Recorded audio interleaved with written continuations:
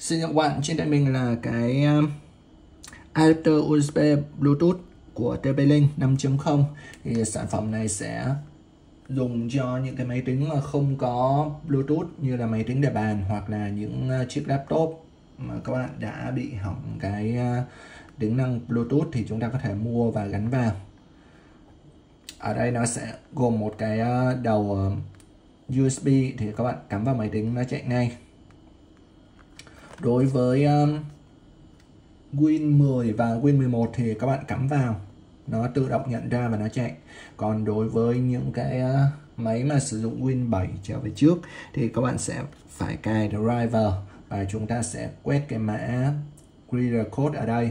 Nó sẽ hiện ra cái trang web của TP-Link và các bạn vào đó chúng ta download uh, driver về thôi. Thì sản phẩm này nó sẽ có một cái mẫu cũ nữa là uh, UB 400 thì cái mẫu đó là mẫu cũ giá nó rẻ hơn các bạn lưu ý. Còn đây là mẫu mới UB 500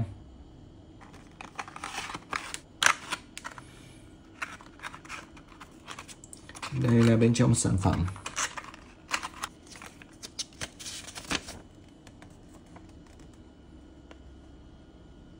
Có sách hướng dẫn hoặc ở đây nó cũng ghi cái địa chỉ đã download driver về này.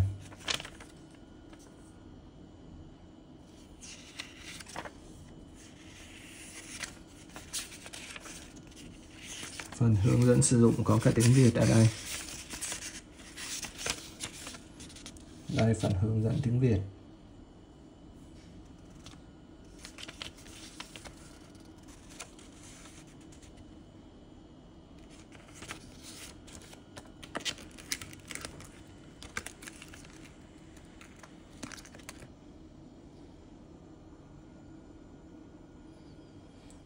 Và đây là cái đầu USB rất là nhỏ luôn.